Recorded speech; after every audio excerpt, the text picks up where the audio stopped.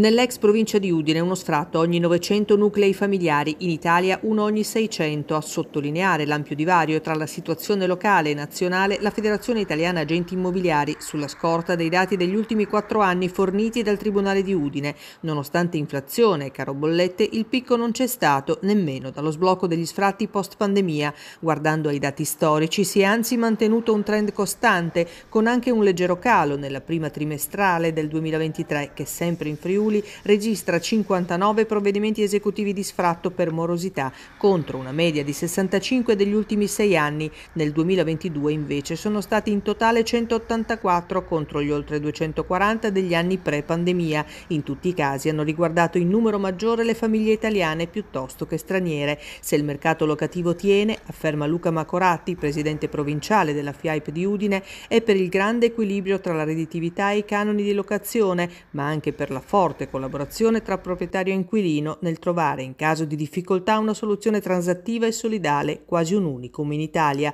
A confermare il quadro positivo, rileva il vicepresidente nazionale della FIAIP Leonardo Piccoli, sono anche i dati sull'acquisto delle seconde case che nel secondo trimestre del 2022 hanno raggiunto il 37% delle compravendite complessive, contro una media storica del 25%, segnando un aumento di ben il 12%. Città capoluogo, ma anche località di vacanza, borghi in testa le zone dove sono più ricercate, seconde case che i friulani tengono per sé ma anche mettono a reddito affittandole.